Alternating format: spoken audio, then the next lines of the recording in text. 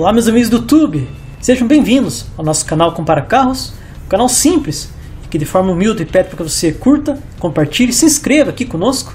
Você é nosso convidado para hoje conhecer o novo Kia Rio, esse modelo que desde a primeira geração é prometido para chegar no Brasil, já se passaram 20 anos, ele chegou à quarta geração e finalmente agora está à venda no nosso país.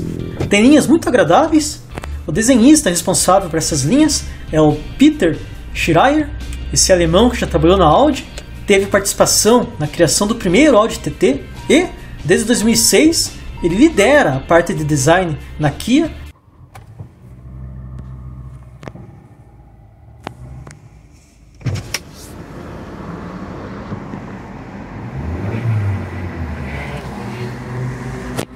Foi quando essa marca sul-coreana se destacou por lançar modelos um mais bonito que o outro, e não é diferente agora. O Kia Rio na quarta geração mantém a inspiração do focinho da frente de um tigre, do rosto de um tigre, principalmente na grade falsa que está entre os faróis. Essa quarta geração é um pouco menos ousada que a terceira, mas tem linhas mais agradáveis ainda. Kia Rio, na versão topo de linha EX, aqui na cor prata metálico. Ele também é ofertado na versão de entrada LX que é 8 mil reais mais em conta, porém um pouco menos equipado. As duas versões utilizam o mesmo motor 1.6 e câmbio automático de 6 velocidades, conjunto que já conhecemos na linha do SUV Creta e também do Hyundai HB20. No geral, ele usa o motor 1.6 da linha Gama, o mesmo que está presente no HB20, no Creta. Esse Kia Rio está vindo do México. Por dentro ele é bem espaçoso para a categoria, lembra bastante o espaço interno de um Polo mas com a qualidade e o cuidado no acabamento semelhante ao que existe no HB20. Aqui ela é cuidadosa nessa parte, o interior é aconchegante, a versão de entrada não tem tanto detalhe em black piano como a versão topo de linha, mesmo assim a percepção de qualidade é muito boa. A marca oferece 5 anos de garantia ou 100 mil km, como ela faz com todos os modelos da linha.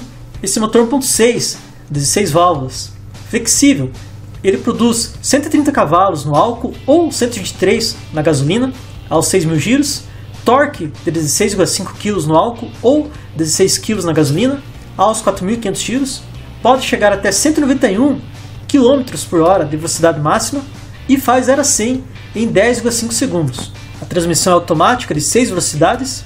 O consumo com gasolina é de 11,5 km por litro na cidade ou 3,9 na estrada. Com álcool, ele faz 7,8 na cidade e 9,8 na estrada. O tanque de combustível comporta 50 litros, o porta-malas comporta 300 litros, mede 4 metros e 7 de comprimento, 1 metro e 73 de largura, 1 metro e 45 de altura, tem distância entre eixos de 2 metros 58. Medidas muito semelhantes, tanto as externas quanto a do porta-malas, com a do Volkswagen Polo. A suspensão traseira é por eixo de torção, freio traseiro a tambor e a direção tem assistência elétrica. Ele vem com rodas de liga leve no aro 15, com pneu 185/60.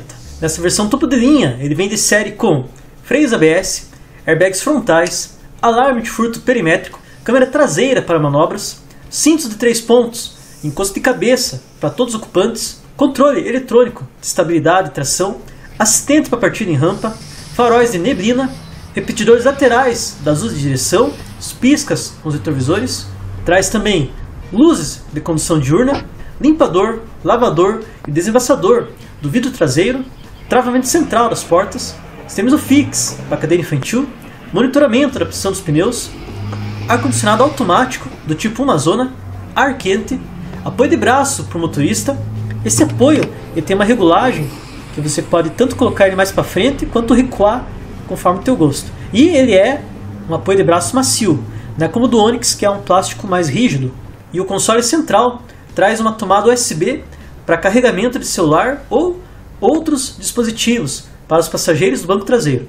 Continuando, ele também traz controle automático de velocidade, controle elétrico dos quatro vidros, ajuste elétrico dos retrovisores, retrovisores rebatíveis eletricamente, sensor crepuscular, acendimento automático dos faróis, banco do motorista com regulagem de altura, bancos revestidos em couro banco traseiro bipartido rebatível, comando interno para abertura da tampa do tanque, luz no porta-malas e também luz no porta-luvas, alças de segurança no teto, rádio multimídia com tela de 7 polegadas, sensível ao toque, integração com Android Auto e Apple CarPlay, conexão USB, Bluetooth, espelhamento da tela do celular, volante multifuncional, computador de bordo, conta-giros, termômetro da água do motor e indicador de temperatura externa. Por fora, as principais diferenças, comparando com a versão de entrada LX, é que essa versão topo de linha EX traz uma grade falsa com acabamento diferenciado. É uma grade lisa com detalhes cromados, onde fica a assinatura da marca Kia, que é o nariz de tigre. A versão topo de linha também possui faróis com canhões e LEDs para iluminação diurna, que é um quadrado em volta dos canhões, ao passo que na versão mais barata os faróis são do tipo simples. A princípio, as informações que nós temos são as seguintes. Kia Rio, na versão de entrada LX, custando R$ 69.990 na cor branco sólido. É a única pintura que não acrescenta valor no carro. Aí vem as pinturas metálica e perolizadas, que acrescentam R$ 1.600 no caso das metálicas, ou R$ 2.300 no caso das perolizadas. O Kia Rio, na cor prata, cinza ou vermelho metálico, vai custar R$ 71.590. Já nas cores perolizadas, branco neve ou preto perolizado, o Kia Rio, nessa versão de entrada, vai custar R$ 72.290. O mesmo acontece com a versão topo de linha, que tem preço divulgado por R$ 78.990, enfatizando, esses valores não são oficiais. Talvez até você chegar na concessionária os valores sejam diferentes. Então a versão topo de linha, R$ 78.990 na cor branco sólido. Se vier na cor metálica, que pode ser prata, cinza ou vermelho, o preço vai para R$ 80.590. E por fim, a versão topo de linha que é Rio EX, nas cores perolizadas, que pode ser branco neve ou preto perolizado, custará R$ 81.290. Hoje eu estou aqui com esse rapaz que não sabe ficar com meia no pé, põe uma meia já tira. Hoje o recado aí rapidinho. Eu sou Joyce Machado.